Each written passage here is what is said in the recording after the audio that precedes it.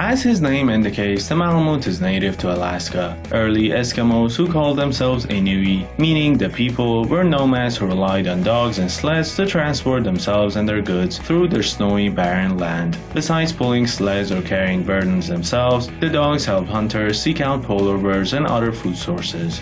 These dogs, which are the ancestors of the Alaskan Malamutes, belong to the Spitz family of dogs, which includes Akitas, Chow Chows, Siberian Husky, and many more breeds. Based on studies of the canine genome, the Alaskan Malamute is one of the most ancient breeds in existence. The relationship between the dogs and the people was a close one, with the dogs being well fed and cared for, and babies suckling on dogs along with puppies, both instances that can be pointed to as a basis for the Malamute's love of people.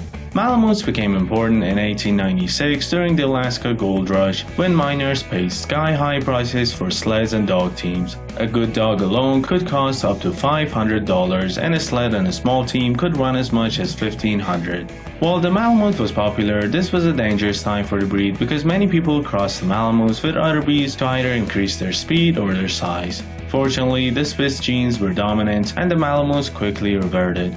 The Golden is one of the breeds created during the dog-loving Victorian era. The breeds in its background probably included a yellow retriever, the Tweed Water Spaniel, wavy and flat-coated retrievers, and a red setter. Golden Retrievers were first registered with the American Kennel Club in 1925 and were officially recognized as a breed in 1932. Since then, they've established themselves as versatile companions, hunting dogs, and working dogs. Goldens are found doing search and rescue, animal assisted therapy, arson detection, drug detection, and assistant work for people with disabilities. Their energy, enthusiasm, and intelligence makes them well suited to learning and performing almost any task. Alaskan Malamutes are friendly and love people. This makes them a wonderful choice for the active family that's got a thief alarm and doesn't need a Malamute for his watchdog abilities. That's because he doesn't have any. He's moderately vocal and will howl along with sirens or talk to you with expressive woo-woos. For a Spitz breed though, he's pretty quiet and doesn't typically become a barker. This dog is smart and curious, and he wants nothing more than to share his discoveries with his human family members. Discoveries like exactly how the sofa was put together, or what the interior of your car would look like without all that carpeting. The good news is that destructiveness in a Malamute is preventable and treatable. The cure is exercise and lots of it, no matter what the weather is or if you have the flu. Lots and lots of strenuous exercise, hiking, pulling sleds in winter and carts in summer, although don't let him become overheated, competitive weight pulling and formal obedience are all good outlets for his brain and his brawn. The Malamute is smart, learns quickly and loves you, but he's also strong-willed and independent. Before we continue, please consider hitting that like and subscribe button as it would mean a lot. Thanks. Ask anyone about the defining characteristic of the Golden Retriever and the answer you will always get is temperament. The hallmark of the Golden is his kind, gentle, eager to please nature. He craves affection and will seek it from strangers as well as his own family. Goldens are adaptable and people-oriented, and those characteristics are at the top of the list of reasons why people love them. Unfortunately, the breed's popularity has meant that careless or clueless people have begun churning out Goldens without any attempt to maintain their sweet, gentle disposition. Shyness and aggression can be problems, leading to fear biting or unfriendliness towards people and other dogs. Proper Goldens love everyone, but that love for people will often translate into jumping as a form of greeting. Basic early obedience training is a must for these big, rambunctious dogs. Fortunately, Goldens are very easy to train and a small investment of time when the dog is young will pay off when he's fully grown. He will readily sit on command, walk on a leash without pulling, and come when called. If not trained, socialize, and exercise daily, the good natured exuberance of Goldens, especially as adolescents and young adults, can be overwhelming and even frightening to small children, despite the dog's best intentions to be friendly. Choose a Golden as a family dog only if you are prepared to supervise kids and the dog when they are together and make sure everyone plays nicely. It's normal for puppies to chase and bite and play, so you need to teach a Golden pup how to act around kids as well as teach the kids how to play properly with the dog.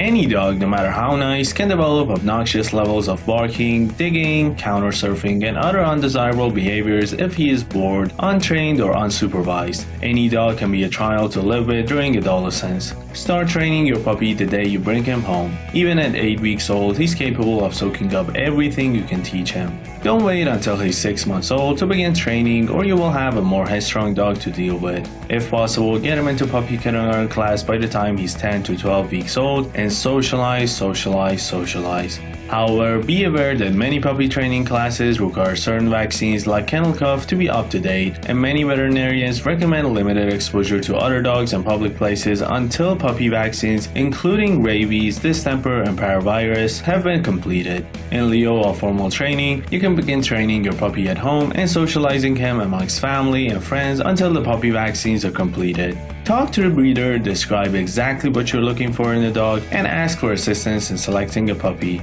Breeders see the puppies daily and can make uncannily accurate recommendations once they know something about your lifestyle and personality. All dogs have the potential to develop genetic health problems, just as all people have the potential to inherit a particular disease. Run and don't walk from any breeder who does not offer a health guarantee on puppies, who tells you that the breed is 100% healthy and has no known problems, or who tells you that her puppies are isolated from the main part of the household for health reasons. A reputable breeder will be honest and open about health problems in the breed and the incidents with which they occur in their lines. The Malamute is a fairly healthy dog, but he's at risk for some genetic diseases, including hip dysplasia. This is a particularly devastating condition for an active running dog like the Malamute. Make sure your breeder provides you with written documentation from the Orthopedic Foundation for Animals or the University of Pennsylvania, certifying that a puppy's parents are free of hip dysplasia. They can also suffer from inherited polyneuropathy, for which there is no screening test. This is a nervous system disorder that causes chronic lack of coordination and weakness in the dogs. The Alaskan Malamute Club of America participates in the Canine Health Information Center, a health database.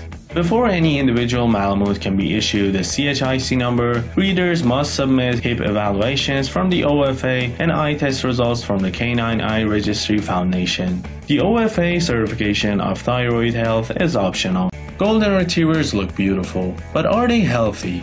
An individual golden certainly can be, but the breed as a whole can be affected by a number of health problems. At the top of the list of health concerns in this breed is cancer. Some veterinarians go so far as to call Goldens cancer retrievers, and treatments for this disease can be emotionally and financially devastating. It's not known to what extent all these forms of cancer are genetic or exactly how they're transmitted from one generation to the next, but the sky high rate of cancer in golden retrievers is suspected to be at least partially inherited. Goldens also suffer from a high incidence of the painful genetic hip deformity known as hip dysplasia, which develops when the head of the thigh bone doesn't fit properly onto the hip socket. Serious hip dysplasia can lead to crippling arthritis and requires costly surgical treatment. Golden Retrievers can also have genetic elbow deformities. Eyes are another problem area in this breed, so make sure that the parents have been examined by a board certified veterinary ophthalmologist and certified by the Canine Eye Registry Foundation. Before individual Goldens can be included in the Canine Health Information Center CHIC, the Golden Retriever Club of America requires them to have hip and elbow evaluations from the Orthopedic Foundation for Animals or PennHip, an OFA cardiology exam, and an eye clearance from the Canine Eye Registry Foundation. You can search the OFA and CHIC website for yourself to see if a pup's parents are listed.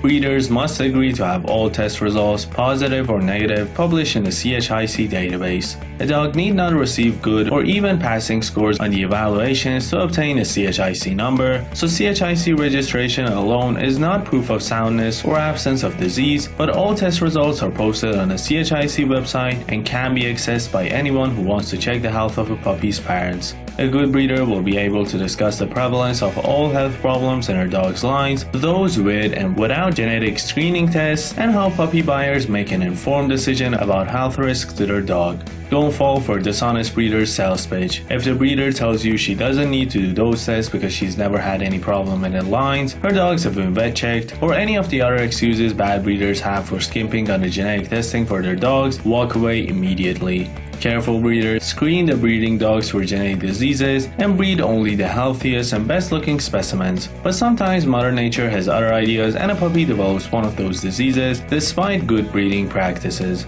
Advances in veterinary medicine means that in most cases the dogs can still live a good life. If you're getting a puppy, ask the breeder about the ages of the dogs in her lines and what they died of. Remember that after you've taken a new puppy into your home, you have the power to protect him from one of the most common health problems in dogs obesity. Keeping your dog in an appropriate weight is one of the easiest ways to extend his life. Make the most of your preventive abilities to help ensure a healthier dog for life. The Alaskan Malamute is a thick, coarse double coat. It's not especially high maintenance, as you can brush it a couple of times a week to remove dead hair and distribute skin oils, but it sheds year-round and more heavily on a seasonal basis. A Malamute owner's best friend after his dog is his vacuum cleaner. Twice a year, Malamutes blow their coats. Picture mountains of hair drifting all over the house and attaching itself to every surface. The rest of the year, the shedding is much less, so much so that you might be able to get away with vacuuming only twice a day instead of every 4 hours. If you can put up with that, the Malamute is a pretty easy cared dog. Bathe him every few months or whenever he's dirty. He doesn't need any special trimming to maintain his distinctive look. It takes some dedication to live with a golden retriever. The golden's profuse coat requires regular brushing and bathing to remove debris and mats. While all dogs shed, Goldens do it with the same enthusiasm they bring to swimming and retrieving. You can keep it under control with daily brushing to remove the dead undercoat, but if shedding is a deal breaker at your house, this is not the breed for you.